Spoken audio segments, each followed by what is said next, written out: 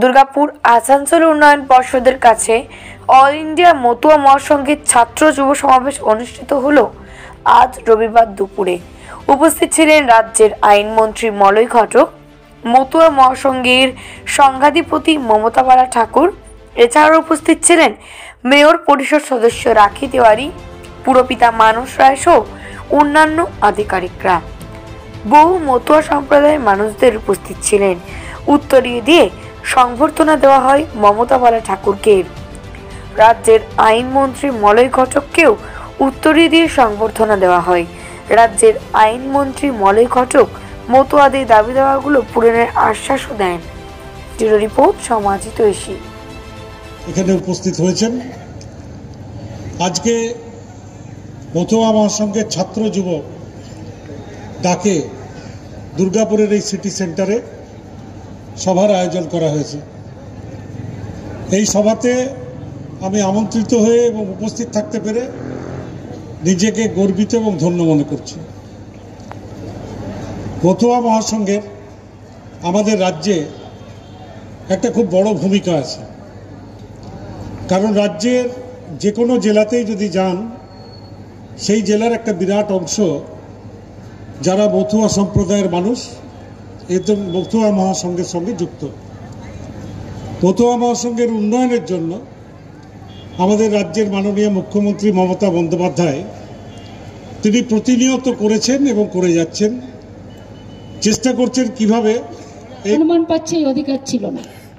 এই অধিকার আমাদের দিতে এসেছিল সেই আমাদের পূর্ণব্রহ্ম শ্রী শ্রী হরিচাঁদ ঠাকুর। যা কিছু সামাজিক অধিকার, শিক্ষার অধিকার, মন্দিরে যাওয়ার অধিকার আমাদের চলার অধিকার, বলার অধিকার, যা কিছু আমাদের প্রয়োজন সব কিছু আমাদের ঠাকুর দিয়ে গেছে আমার হরিগুরু। আশা বেরিয়ে আসে, আমরা মনে করি চিন্তা ভাবনা মানে বাস্তবায়িত আরও কার্যকারী হবে যাতে সাধারণ মানুষের ভিতরে তাদের চিন্তা ভাবনাটা ছড়িয়ে দিতে দিদি পুরসভা নির্বাচনে আজকে বিরোধী বিজেপি দিকে দিকে সন্ত্রাসের অভিযোগ তুলে রাস্তা চাপিয়ে দিচ্ছিস কেন রে? সন্ত্রাস চলেছে কি বলবেন? আপনি দীর্ঘদিন তৃণমূল কংগ্রেসে আছেন কি বলবেন? আর পাচ্ছি। এবং এরা তার জন্য আজকে কিছু করার নেই। তারা এখন বিক্ষোভে বসেছে যে রাস্তা অবরোধ জনসাধারণ মানুষকে সেখানে আমরা রাজনীতি করে না দিদি মতুয়ারা শান্তনু ঠাকুরের হাত ধরে দ্বিধাবিভক্ত হয়েছিল এবং পরবর্তী ক্ষেত্রে মতুয়াদের যে উন্নয়নের কথা বলেছিল বিজেপির সরকার কার্যত সেই জায়গায় মুখ টুকরে পড়েছে। আবার কি মতুয়াদেরকে ফেরানো গেছে আপনাদের শিবিরে অর্থাৎ তৃণমূলের দিকে? অনেকটাই। তারা ভুল বুঝে মাননীয় মুখ্যমন্ত্রী মমতা বন্দ্যোপাধ্যায় যে উন্নয়ন যেটা চেয়েছিল অনেক সময় এদের হিন্দুত্ব দিয়ে যে মুসলমান থেকে দেশ ওখান থেকে ভাগ হয়ে চলে আসছে এটা মুসলমানের না আমরা হিন্দু রাষ্ট্র হিন্দু রাষ্ট্রে বসবাস করছি কিন্তু মুসলমান রাষ্ট্র নয়। আমরা যে দেশে বাস করি এটা কি মুসলমানের রাষ্ট্র? সেটা ভুল বুঝেছিল। সাধারণ মানুষটা ভুল বুঝে এবং নাগরিকত্বের একটা যে সুর শুরু যারা নাগরিকত্ব দেবে। মানুষকে ভুল বুঝিয়েছিল আর তুমি নাইনটা তুলছো কেন? সেটা সত্যি সত্যি মানুষ ভুল বুঝে আমার কিছু নেই নিমাজা করছি। এবং যে রেজাল্ট এবার হয়েছে সকলে তোমার সাংবাদিক তোমার দুঃখ পাচ্ছ তো পশ্চিমবঙ্গে মানে যা দু হাজার এগারোতে হয়নি তারপর দু হাজার ষোলো যেটা এবার হয়েছে। মানে জনজোয়ারে মানুষ ভোট দিয়েছে এবং বিশেষ করে মায়েরা ঢেলে ভোট দিয়েছে।